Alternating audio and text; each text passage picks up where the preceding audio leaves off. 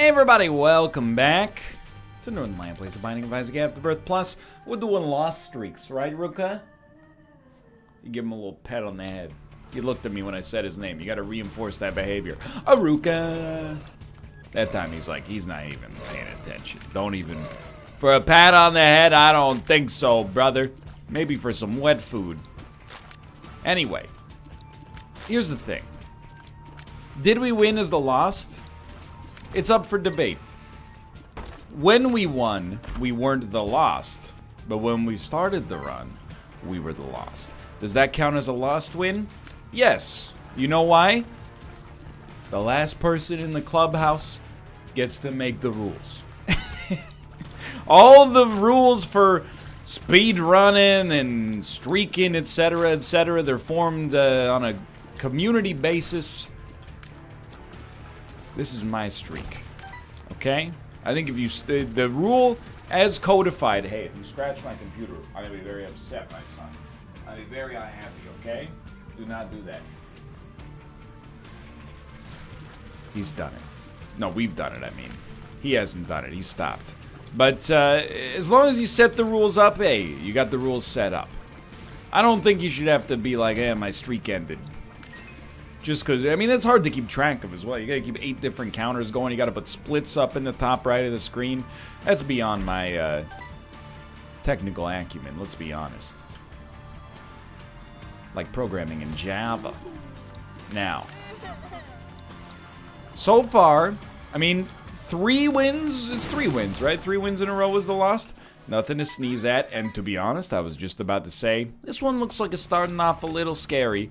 Uh, only, we ended up picking up uh, Little Brim. Little Brim is far from uh, an assured victory, all on his lonesome. However, dude, I think we'll save a bomb. Even though we could probably get a nickel, I want to save a bomb. Just in case we needed to kill a boss. Or any difficult room, honestly. Um, we don't have the money to get into the shop right now regardless, so I wouldn't get too... Or sorry, we don't have the key necessary to get in the shop right now regardless, so I wouldn't get yourself too twisted up over it one way or the other. Good stuff.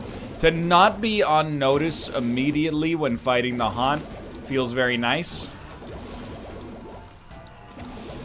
And I feel like, you know, the world's our oyster right now. Just don't be dumb. Be smart instead.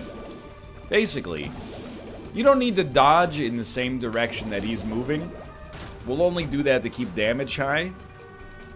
Head down to the next floor. So far, so good. Let me hydrate. It's a Friday, by the way. TGIF. That's what the kids say these days. Guaranteed. Uh, no damage taken. Love to see it. Always scary to go in those rooms. It's a calculated risk. Small rock, please. Fridays are Fridays for me, now that I take Saturdays off. So, you know, on Friday, you know, you work hard, and then you leave uh, feeling good. Oh, dude. Absolutely beloved blank card. Um, let me close the door here for a moment. it's not meant to insult my wife, who is a better singer than I am, but there is a Twitch Sings bounty right now, which uh, may have led to you hearing some... It's just for the copy-ridden material. It's not because it's unpleasant, I promise you that. Um, but yeah, you work hard on Friday, you get a day off on the weekend. What's going on this weekend? Parental units coming in. Excited to spend some time with them.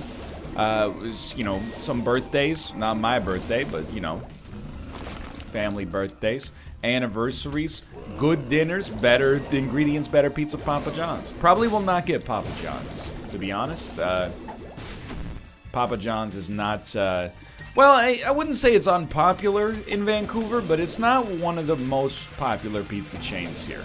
Definitely the the two biggest ones have got to be uh, a company called Panago and a company called Uncle Fatih's Pizza. I'm not messing with you. Yes, it does sound like Uncle Fatty's Pizza. Um, in the United States, you have a pizzeria that's very popular, named after the shape of the building that it's served in. Anyway, I'm just trying to say we're all sons of guns here. I will say, I, I, dude, Blue Candle's so good, but we gotta try Something along those lines, I think. Um, the thing is, I love Vancouver.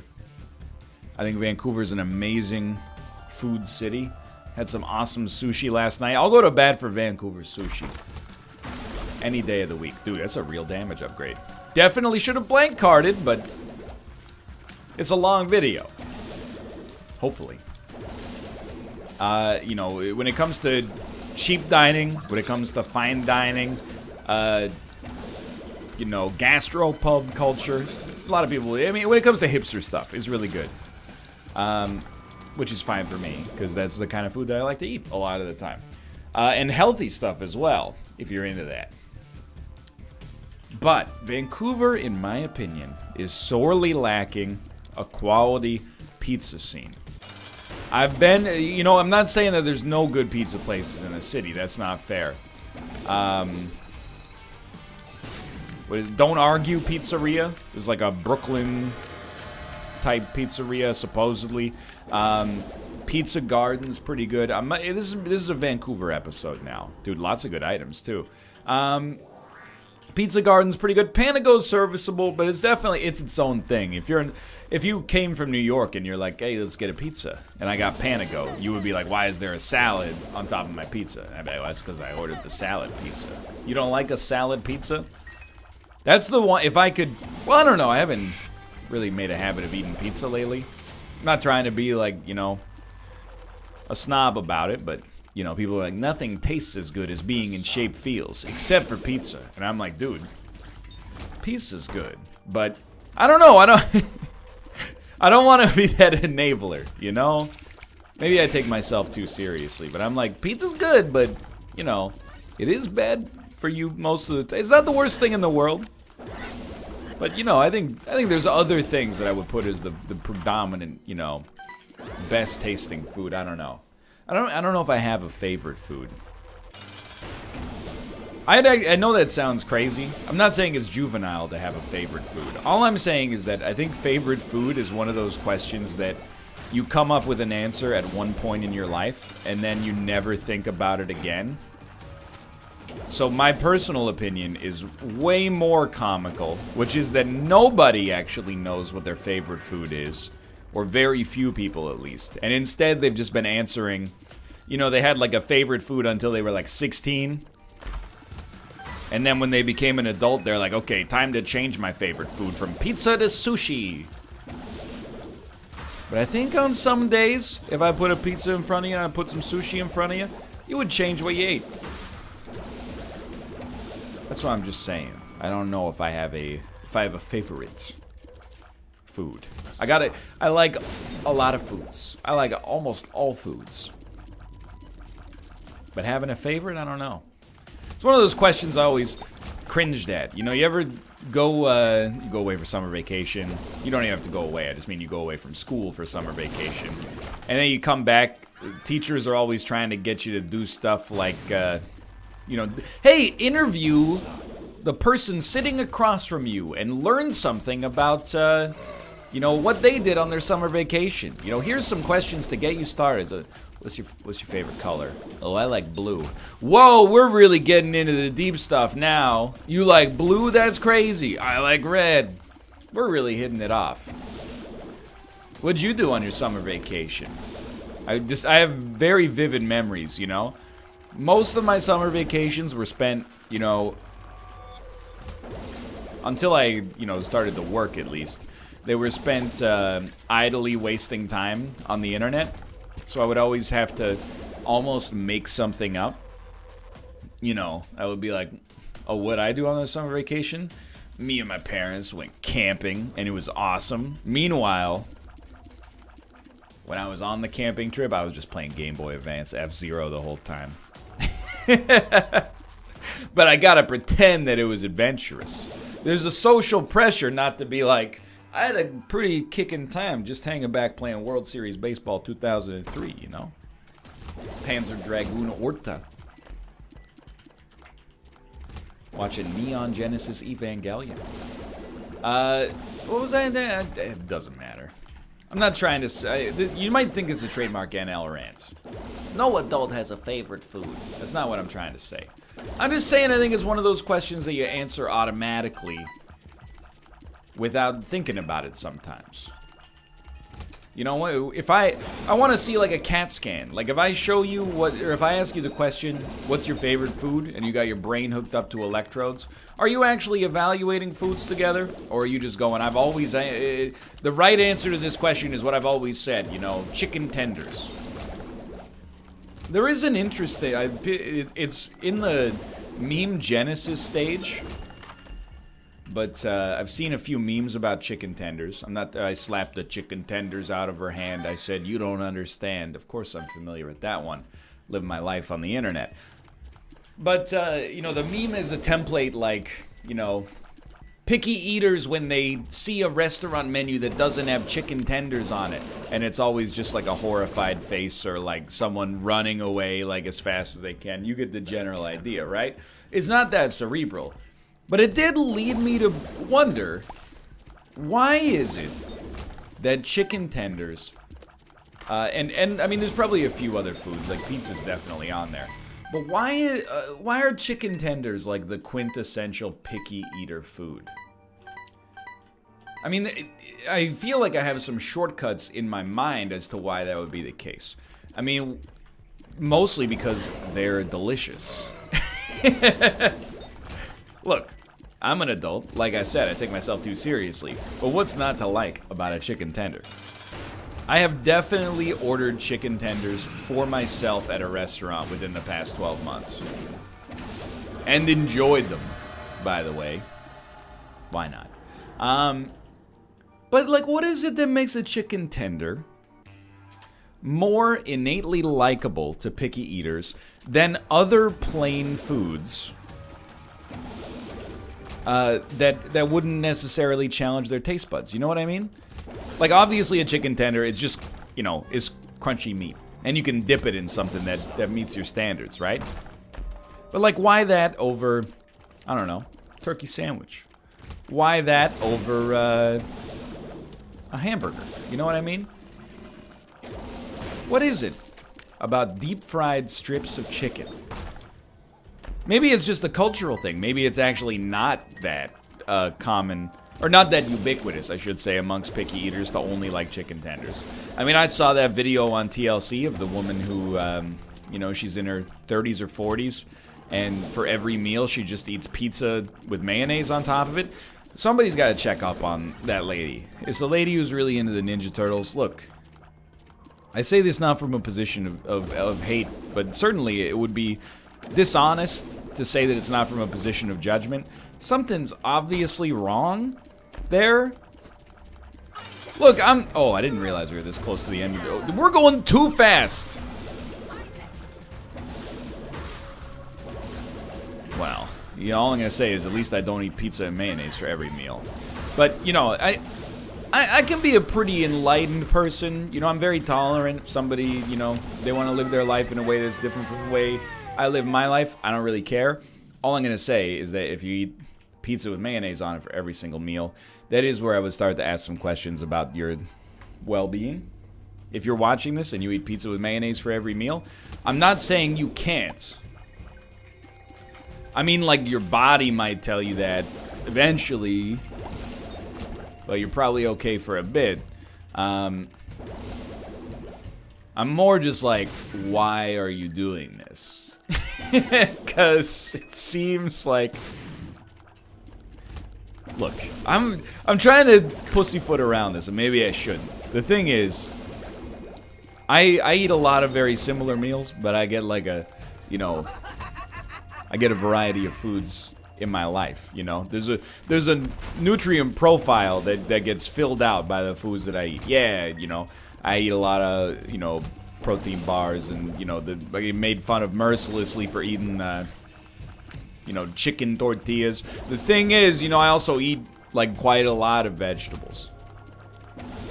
The pizza can have vegetables, but I don't want to get into this, you know, discussion over whether or not it's giving you enough vegetable content.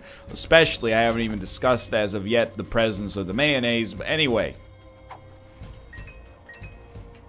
I just wonder. I get why pizza would be something people would be more picky about than chicken tenders. Well, I'm just playing it very coy here. Because pizza, you know, it's got a different texture going on. You know, there's pizza, and this is stuff that I mean, it's like, you know, little babies eat pizza. But you get what I mean, you know, like there's a crust. Nothing makes, and I'm not trying to, I'm, I'm in some biting the hand that feeds. I know a lot of people that are watching this are to be, I hope you're not alienated. I'm just spitballing, okay? But nothing annoys me more when I'm at a group event than like is just like a pizza box opened up, no slices of pizza left, and then in the other side of the box, there's like eight crusts just sitting there. Look, I'm not saying you have to eat your pizza crust. I, I, I don't see why you wouldn't to begin with. First off, it's bread, and bread is delicious. Secondly, I don't like crust is a nonsense statement, because you've already eaten a bunch of crust under the pizza. Secondly, we're in an era of dipping. Just, just dip it. Dip it in something you like. And the third thing here is, even if you don't eat your crust, don't put the pizza crust back in the box. Were you raised in the freaking barn? I mean, if you're at your home, do whatever you want. But like at a public event, I've seen it happen. Put it in the in the garbage can or the you know if they got a compost, put it in the compost or something. You don't just put it back in the box. What do you think a stranger is going to be like? Ooh, has anybody called dibs on the crust pile yet? I've eaten some meals I'm not proud of in my life. I'm not to eat eight strangers' orphaned pizza crusts. That's too much for even me. Anyway. And it's got, there's tomato sauce involved, and, you know, it's got dairy, which can freak some people out. I'm, I'm not saying many people, I'm just saying in general. Anyway. I don't want to go off on a rant here. Because I've, I've been on the picky eater rant too many times. I mean, you could make the same meme about myself, you know, before the age of 17 or 18 me going to a restaurant and seeing that, you know, there's nothing on the menu that... Wait, what do you mean there's no chicken sandwich on the menu? You got chicken. You got bread.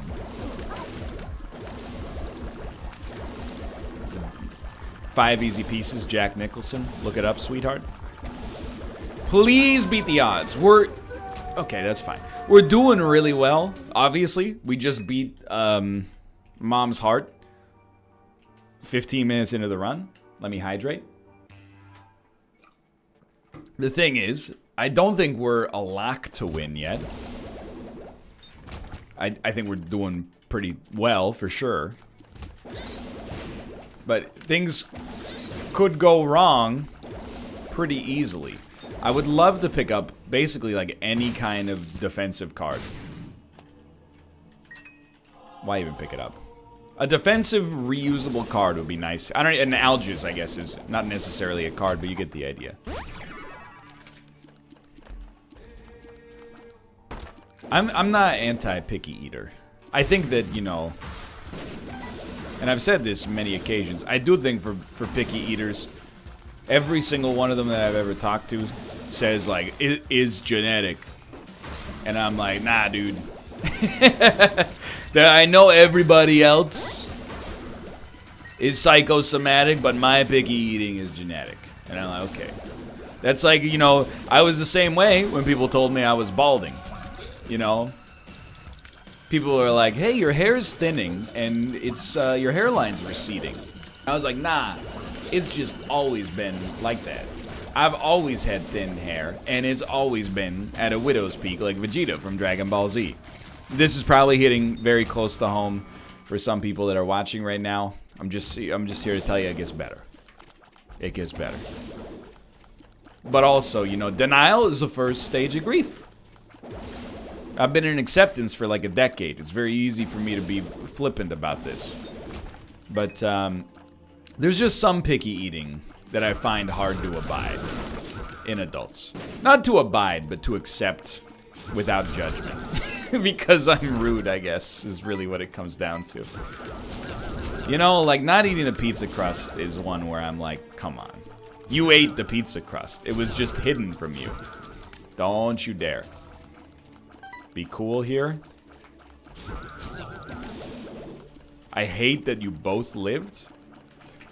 That was super spooky. We even have to be cautious of our bombs, by the way. Because uh, we have scatter bombs. Another one is not eating the crust of a sandwich, which is something that I used to not do when I was a kid. And my thinking was, you know, the crust of the sandwich is a different color. That must mean it's like a, it tastes so different. I don't even want to invite that kind of thing into my life right now. I don't have space for that kind of variety. If you don't eat the crust of your sandwich, because you're like, I don't like the crust as much as the fluffier part of the bread. Sure, okay, I'll accept it, but I do find it like a little, like you would rather toss it in the garbage than eat it. That just strikes me as, that strikes me as a little flippant. I'm not even pulling the, you know, they're starving people and wherever, because like, you know, I'm 5'10", 190. I'm eating a lot of the food that could be sent to another part of the world. However, I'm just saying, like, at some point there's like a convenience factor. Like, wouldn't you rather just finish the sandwich than look around for the closest garbage can and toss it in? I don't know. Because I'm a picky eater, I, I understand the psychology. The psychology is less like, you know, I don't like this. And it's more like, why would I eat it? I might not like it. And if I don't like it, it might taste like poison and ruin my day. Sad bombs. Gotta love it. I dude, I totally think we can make Ares work. This is gonna be a fast one, one way or the other. And I'll admit, the the psychology is still affects me to this day. You know, I was uh, Kate and I were getting dinner uh, at, at a pretty casual place, but you know, they had a burger on their menu. They also had the Beyond Burger, you know, like the vegetable matter burger that's supposed to taste like, you know, regular beef similar to regular beef at least. And in my head, I was like, and keep in mind, I'm like very pro vegetarianism. I was vegetarian for a while. Last year we worked in, you know, I was meatless for like two weeks. I didn't really give it up. It's just, you know, my wife came back from vacation. And I was like, well, there's nothing I could do, dude. Help me.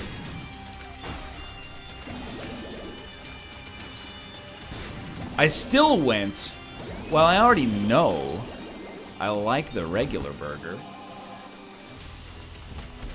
Why would I risk ruining this meal to try the Beyond Burger? Maybe I won't like it. Maybe it'll taste like garbage. Now, keep in mind, I've consumed uh, portobello mushroom burgers, black bean burgers, uh, tempeh burgers, tofu burgers, seitan burgers. Satan, whatever you... I know, you just make the joke, okay?